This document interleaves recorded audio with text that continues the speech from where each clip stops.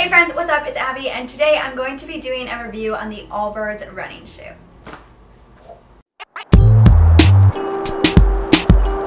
Allbirds was founded in March of 2016, which is now, what, more than 2017, 18, 19, 20, 21, a little over five years ago, which is really crazy because that's when I graduated high school.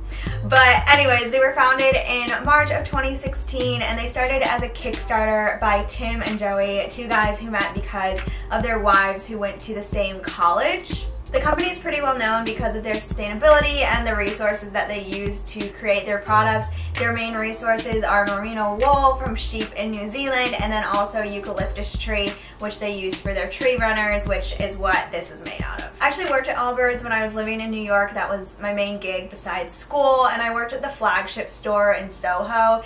It was awesome. Like I love my coworkers and Allbirds is B Corp certified so they have some different not regulations, but things that they have to, maybe that's the word I'm looking for, different things and standards that they have to have just because they are B Corp certified and they just treated us so well and I loved my experience there. So I would say with that I maybe go into this review with a little bit of a bias, but it's just because of my good experience with the company. The ones that I have are the Tree Dashers in the color Geyser and if you're wondering, this is one of their classic colors which means that they should be in store for the foreseeable future whereas their limited edition really come and go which I think is also something Allbirds is more known for are their colorful shoes and just that they're often changing up their colors and themes. These ones have the light blue fabric and sole with the dark blue pops on the top and bottom and the eyelets. The outside fabric is made out of eucalyptus tree and then there is some merino wool lining on the heel.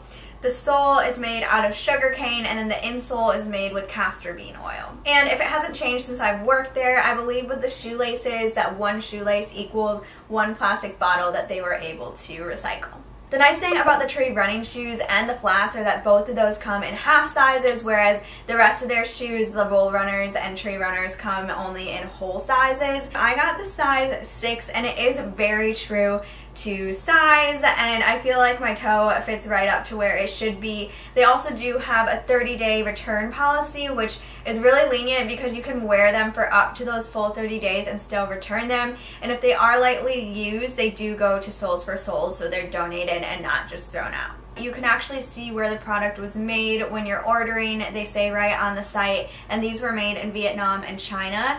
And then with the product, it is nice because you can take out the insoles and take out the laces and just throw these on the wash on cold. They are extremely comfortable. I think if you have a little bit of a higher arch or arch issues, they might not be the best fit for you, but you can take out the insole really easily and just replace it with your own, which is something I remember recommending to a lot of customers. And especially with the runners, since they do come in half sizes, you have a lot more adaptability with the fit, whereas I think that was the other largest issue with people is that they felt like they were really in between sizes and couldn't pick a smaller or a larger. Wouldn't recommend, probably, it's probably not great for your knees at all to run in their runners, but I used to run in the wool, well not the wool, the tree runners, and so I'm really glad that they came out with this one with a little bit more support. There is a lot more.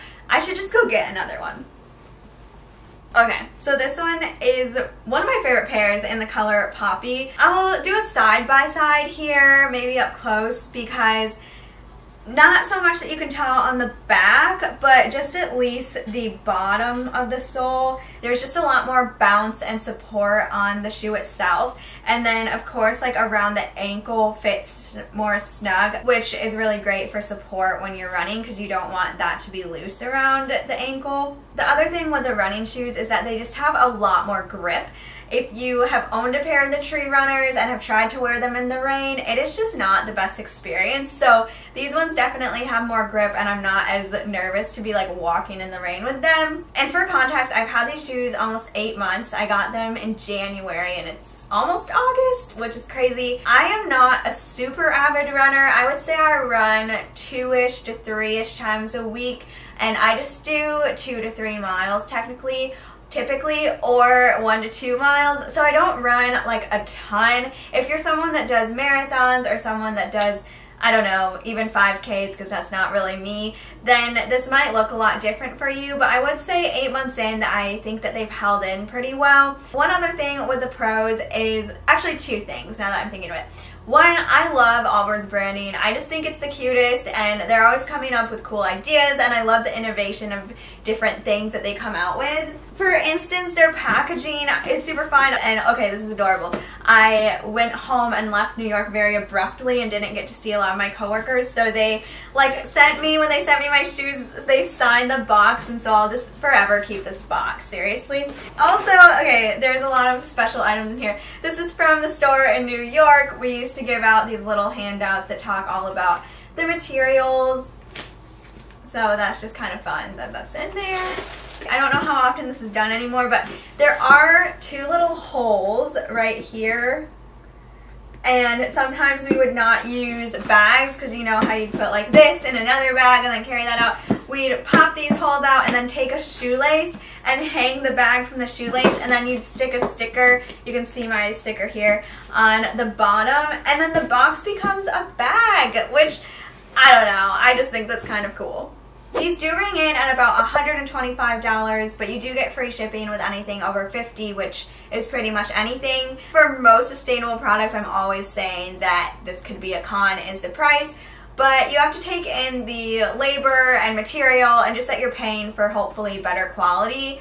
I do see though where that 125 could be a little steep. This feels like kind of a petty con that maybe doesn't need to be a con but could be. Their colors are always changing and for someone that's indecisive like me, if I see a color of someone's that I really like, then I'm like, okay, I need to sit on this and think about it if I need to like wait or if I should save more. But it's hard when the colors, especially the limited edition limited edition ones, can change pretty quickly and it almost feels like you need to order the color that you want sooner than later. So that can be a little bit of a an anxiousness purchase. Is not what I'm trying to say for someone that's a little more indecisive.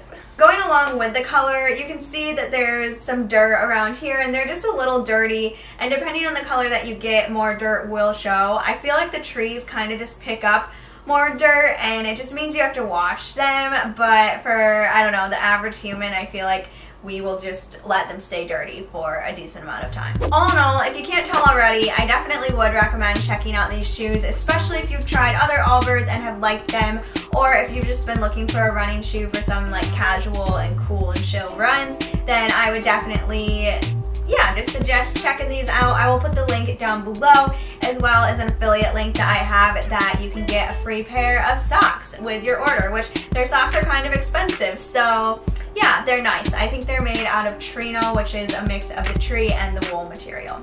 I tried to go over all the main questions I think you guys would have just regarding size and comfortability and longevity. But if you have any other questions, you can leave them down in the comments down below and I will definitely check it out. If you like this video, please make sure to thumbs up and subscribe and I will see you in my next one. Bye!